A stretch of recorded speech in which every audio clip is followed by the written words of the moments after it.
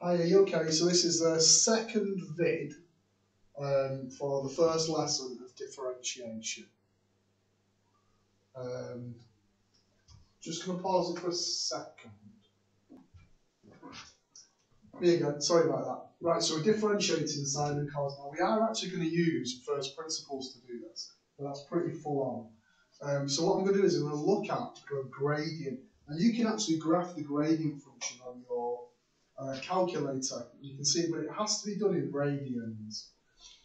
Um, right, so let's have a look. You can't really tell from here. That's your y-axis, I think. There, and that's a pi, and 2 pi.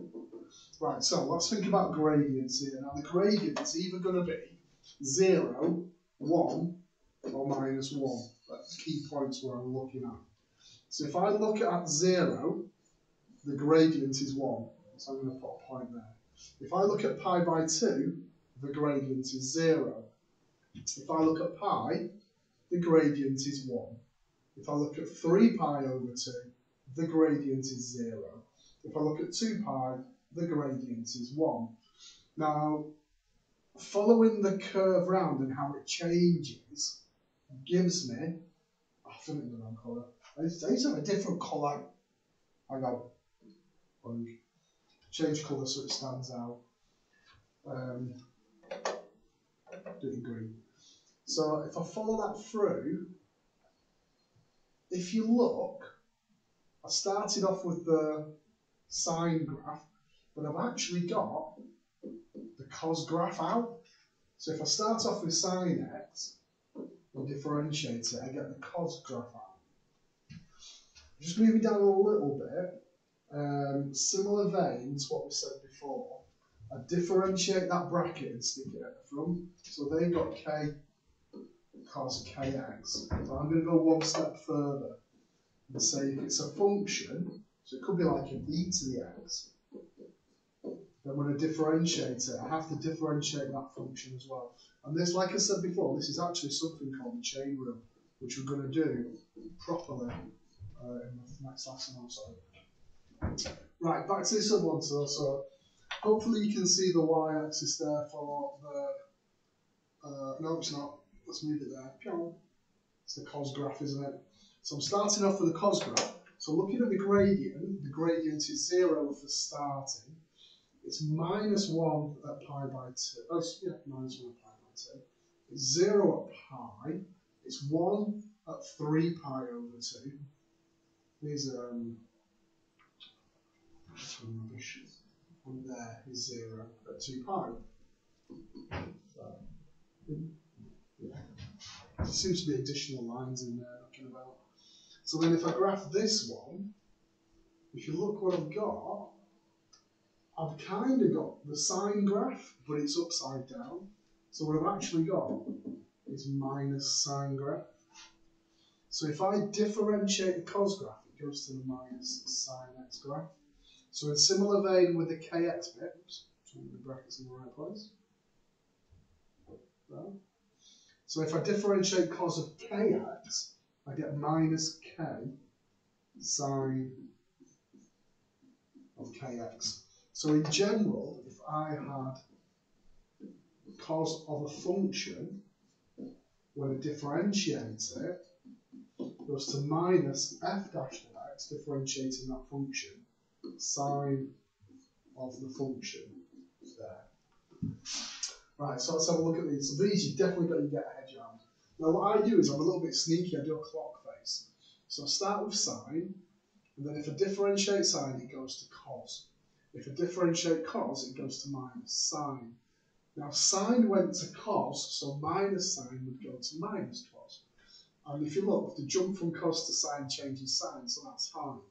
So if I go that way, I differentiate. Now what's quite nice, and this is something definitely not for until next year, but it means if I reverse it, if I go the other way around, I can integrate.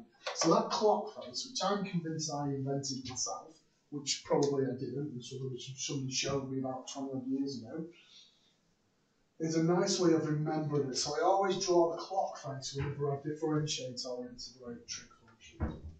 Right, so let's have a go this then. So dy by dx is, so differentiate the two x's are 2. Sine goes to cos if you look at the clock face. Now, what people forget is that stays there. That must stay. That's the second function. There's one for you to have a go at. So minus sine x, if you follow the clock face, goes to minus cos x. And then I've got to differentiate the 7x, and I should have a minus 7 cos of 7x. But I've got minus cos now, so looking at my clock face, minus cos on my clock face goes to plus sine. So f dash of x instead of f of x. So minus cos on my clock face, if you follow it round clockwise, goes to plus sine. Then I've got to differentiate the 5x, that's at 5, and then it'll be sine of 5x there. So cos on here plus cos goes to minus sine, so this should be a minus 4 sine 4x there. Put brackets around them, there's no confusion. this next one does a bit of both. So let's have a look. So we've got a, I've got a plus cos bit, there's my little clock face gone there. So dy by the x. So I've got 2, so 2 is just a scaling factor. Plus, so I've got a cos 4x, so cos goes to minus sine, so that's going to be 2 to be minus 4 sine of 4x.